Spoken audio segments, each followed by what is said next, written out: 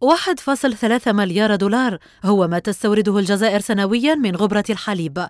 رقم تسعى الجزائر لتقليصه من خلال الإجراءات المختلفة التي تصب في هذا المسعى.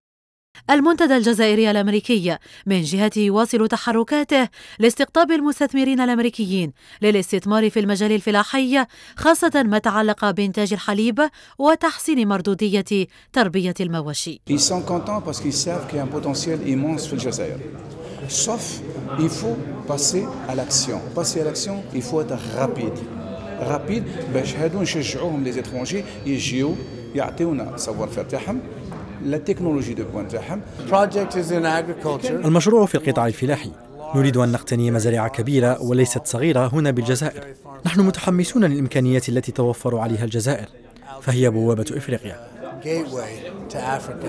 مشاريع تعيدون للحديث عن المشروع الجزائري الأمريكي في مجال تربية الأبقار وزراعة الحبوب بولاية البيض الذي لم يجسد لحد الآن. فما هي الأسباب؟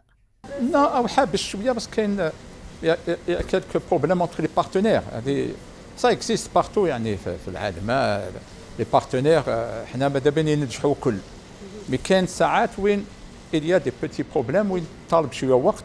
خلق مشاريع مماثلة يتطلب متابعة وتشجيع على مختلف المستويات للوصول للأهداف المرجوة خاصة في القطاع الفلاحي الذي تعول عليه الحكومة للخروج من التبعية للمحروقات.